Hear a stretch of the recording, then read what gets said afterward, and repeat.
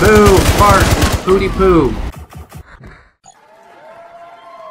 Hello friends, my name is Brandon Dayton. I'm your humble narrator. Welcome back to Rainbow Six Siege.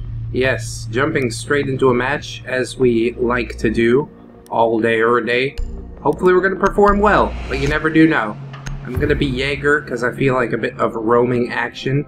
It's really nice to be a roamer, you know? Go up, flank the enemies, uh, get some sweet kills, and apparently I'm the one that's loading the slowest, probably because recording and and such like that. But not not too long. Nope, not long enough for somebody to be like SSD or whatever. Whatever. The room. We need to I don't wanna hear about it. container.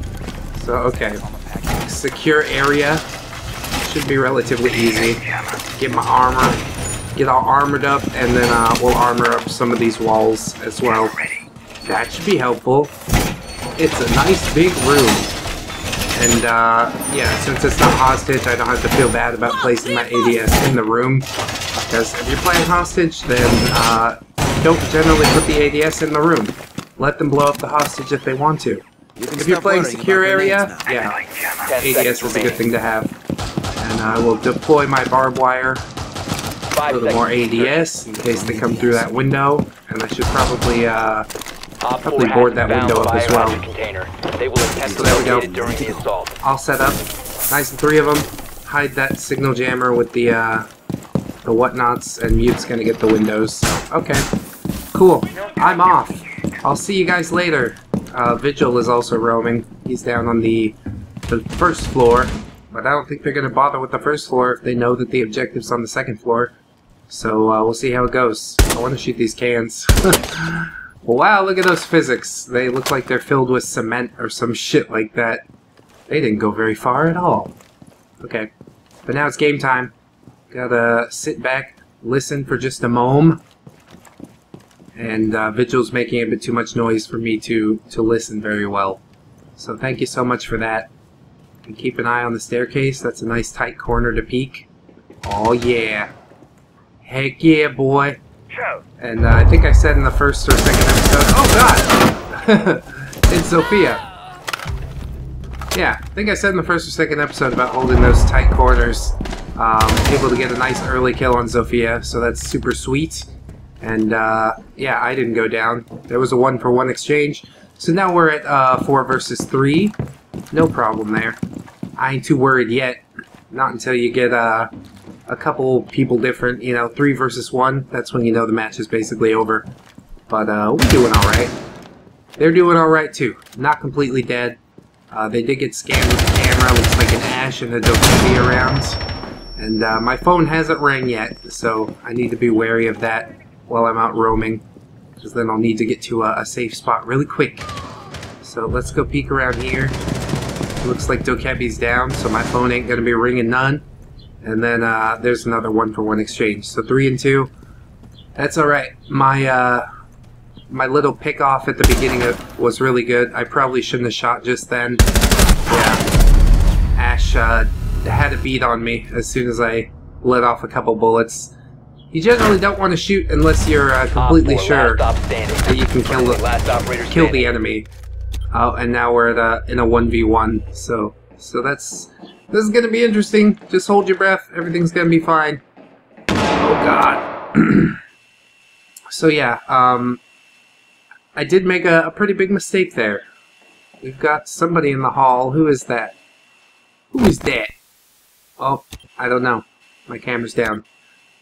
But uh, yeah, I shouldn't have fired on that ash. That was a twitch, a twitch movement. Um, you know, a little bit of reflexes.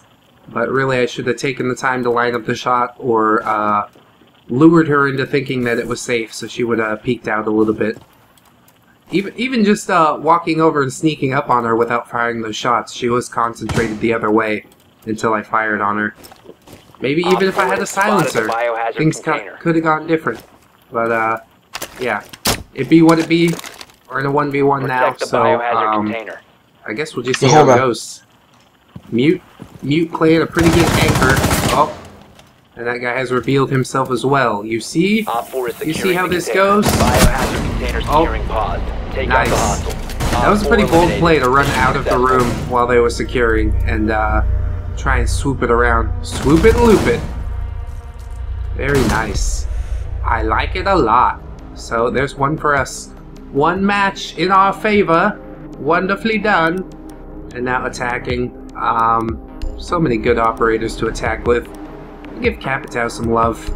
I'm gonna go with the uh, Para 308 because I've got an ACOG scope on it. It's a bit better for longer range engagements, which uh, the tower has a lot of.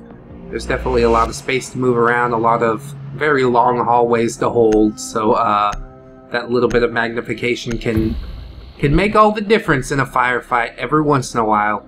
And none of the defenders really have ACOG scopes except for uh, heavy armor characters. Rook, locate Doc, I think. Echo does as well.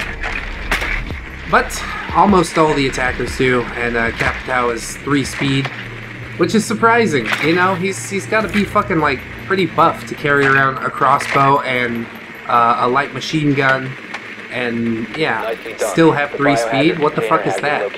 You know, He's buff, bro. He's used to running all Good day, all day, every day. And the the only weakness that he has is he only has one eye. yeah, I don't know how that uh, applies to the game at all 10 seconds to because the game is already uh, one-dimensional. You know, you can move in three dimensions, but you can only see in one dimension, which uh, I think that adds to the realism. Proceed to the You know. If you want to and R- RP a guy with only one eye, Capitao's the one to do it with. oh god. I'm silly. But yeah, I do love his uh, light machine gun as well. There's just so much ammo capacity in it. I'm gonna jump down here.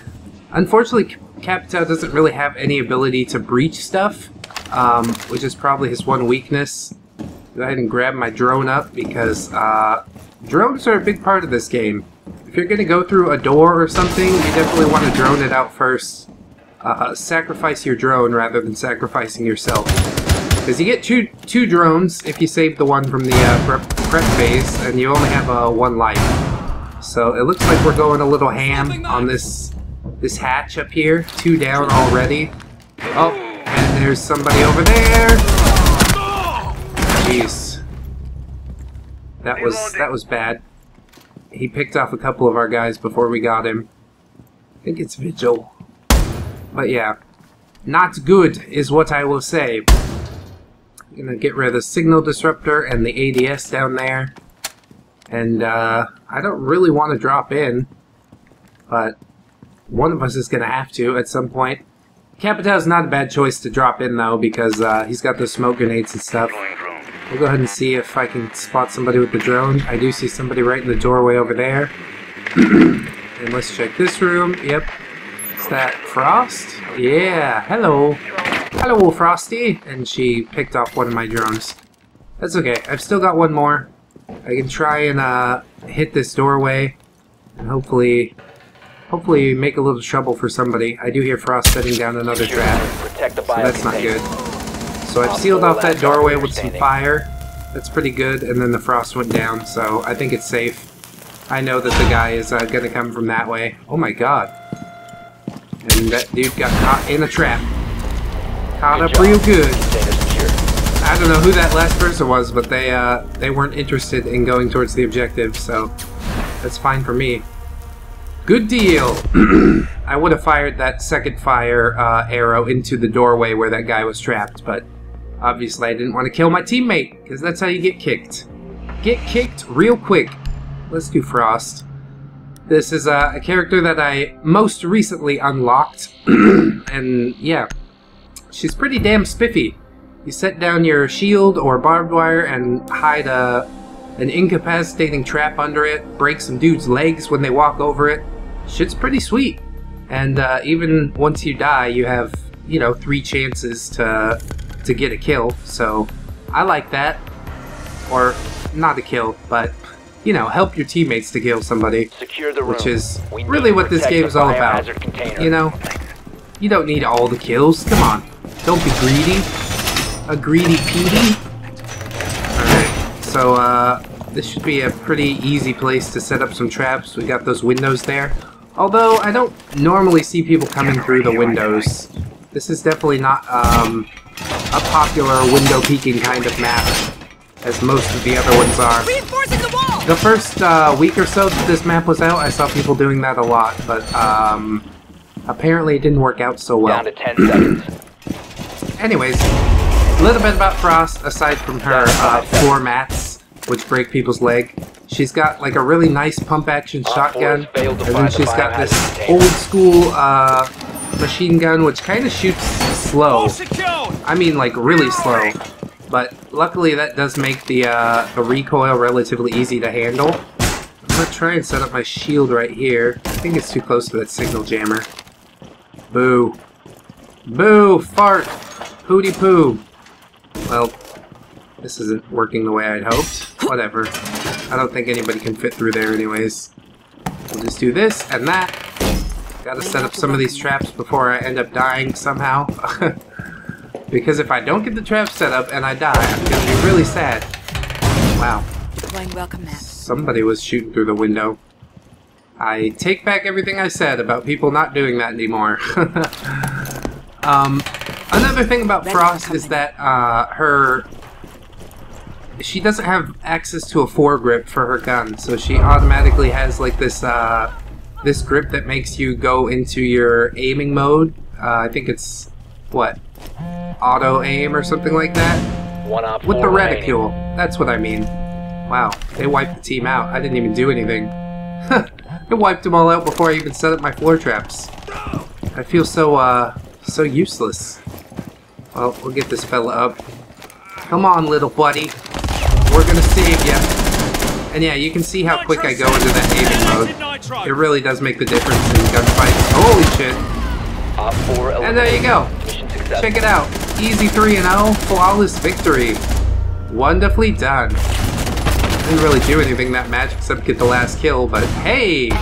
Last kill's important. Then you get to watch my replay. And I got MVP by some fucking stroke of luck. some sort of miracle. I'll take it. Whatever. Anyways, friends, this has been a short one, but it uh, has been a full match. So thank you so much for watching.